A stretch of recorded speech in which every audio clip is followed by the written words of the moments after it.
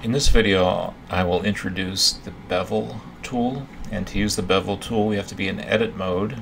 So let's uh, go into edit mode and you can bevel vertices and I'll show you that but most of the time you'll be beveling edges. So let's go into edge selection mode.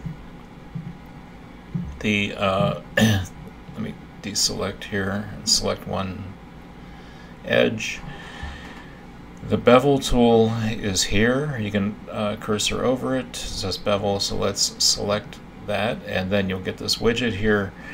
I can click, hold, and drag and pull it up, and it'll bevel it. Okay, but that looks really yicky. All right, so um, there's whenever the tool is enabled, you can access the uh, some attributes here, but down at the lower left, uh, we can open up this window, the bevel window, and we can set the width and especially the segments. So let me, I'll just click one segment at a time so you can see, and I'll zoom out so you can see what's going on with the, uh, the bevel here. Okay, so that's seven segments, you know, it makes that nice roundedness.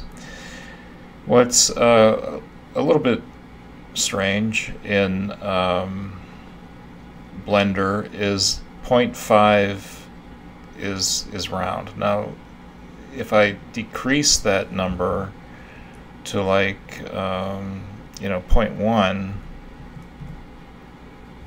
the it become it makes it a concave uh, bevel. Alrighty, so anything below 0.5, 0.5 to zero is a uh, concave in fact, if I input zero, you see it gets that very severe, you know, uh, there's not much curve to it. And if I go over um, 0.5 with the shape, there it goes, it makes it less rounded. Okay, so play around with that. Um, with the uh, selection and the, the bevel uh, visible, mess around with the shape going from 0 to 1 just to see what happens, okay? Just experiment with that. Uh, let me change it back to 0.5.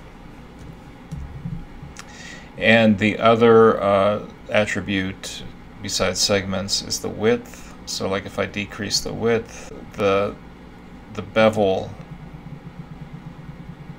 decreases as you can see. So let me change that to 0.5 as well. Okay, so that's cool. All right, so that's the bevel. Now, um, let me delete this cube. Okay, so I've made a new cube. I'm going to go into edit mode.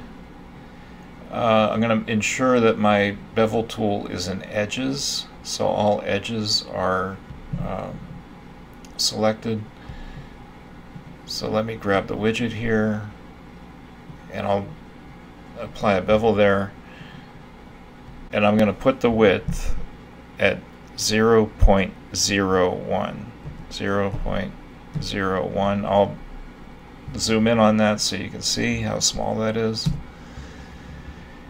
Alright and you might be saying okay so what? Well let me uh, deselect this. And I put another cube in here somewhere. Okay. And let me go back into object mode and zoom in so you can see it. Might be hard to see on the screen. Now the, this one on the left has that 0.01 bevel applied to it and this one on the right has no bevel. So the one on the right has this ideal 90 degree edge. It's an ideal 90 degree sharp edge, which does not exist in the real world. This 0.01 bevel I applied to this cube gives it just a little bit more reality.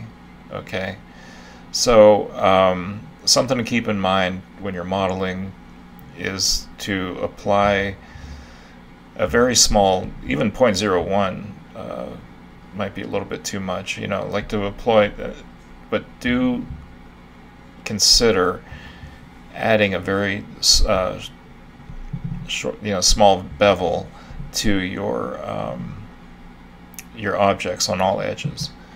Let me show you one more thing here. Uh, let me get rid of that one. The bevel is commonly used like inside a corner edge like this. So let me go into edit mode. Whoops, let me select the object. Go into edit mode. Select this edge down here. And then apply the bevel to it.